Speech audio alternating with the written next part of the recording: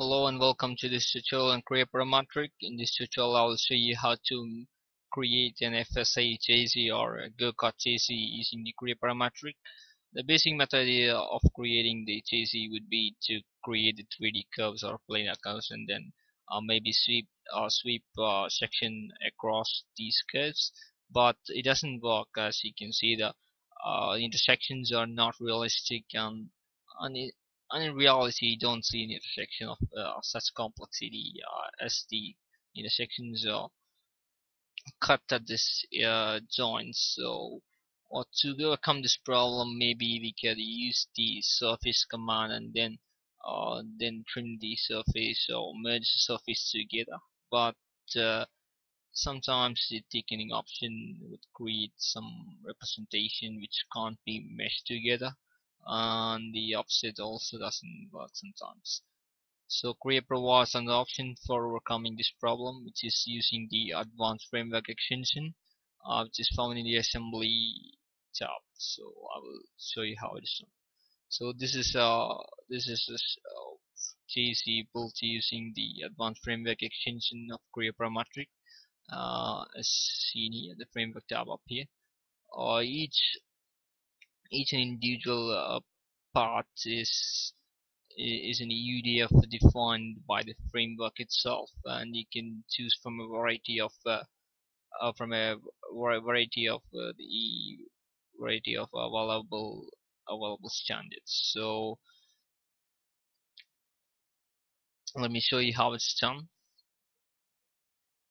So first you need to create an uh, uh, create a skeleton of the model I've created a skeleton and then I a few few cross sections before here. So the first step I have to create a new project before which if you don't find the framework tab go to the options and click on the configuration editor. If if the status is set as no I'll make it as is or else uh, click on the add button and type as AFX enable and then make the value as yes so uh, before before which you have to restart the creator to make the apps enabled.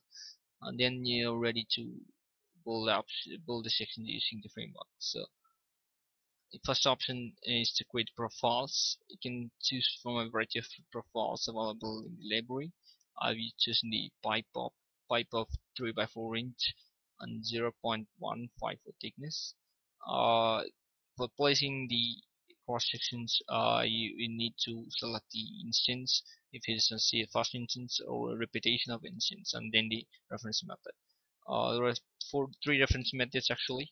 Uh, one one for placing the placing these cross sections on a simple curve one one for the bended curve and one for placing the cross section between the uh, points. So I'll show you how to the how to place the uh, how to place the cross section on a single curve or select on the single curve and the first you have to select the orientation plane which is this one up here.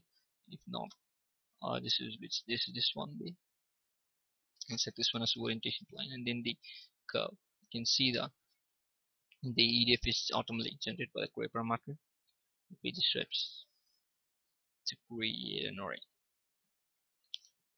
now the other method is to create a bended curve uh, a bended uh, uh, to place the cross section on the bended curve for which you have to select an instance instance type and then on the assemble profile and a bend curve and select on the orientation plane again. And also the curve which, uh, which needs to be selected as in order the first curve and the last curve. So it creates a UDF with the bended curve. So that's how it does it uh, the other method is to place the curve on a on between two points. Uh, with there's nothing but it actually creates the curve between two points and then uh, then creates cross section before which you have to define a plane passing through the points. So that's how we define a profile. After define the profile we need to do a joint uh, joint are the intersections which can be done using uh, joint command here. Select the type of joint you want. I want this type of joint and then maybe select the surfaces. Yeah that's how we do that. This repetition and continuous loop. So you can go on doing that till you want.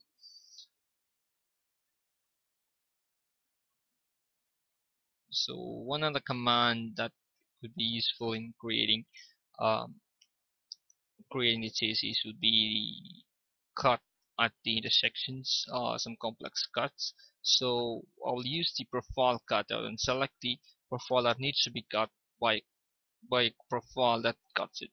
So as you can see that see here uh, the profile is cut and it's almost realistic you can do that uh, here or where you want so this should be the basic option uh, for creating your chassis of your FSA or go-kart vehicle.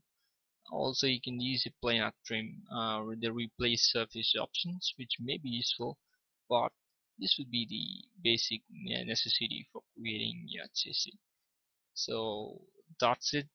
That's the end of the tutorial and I'll see you later again. Bye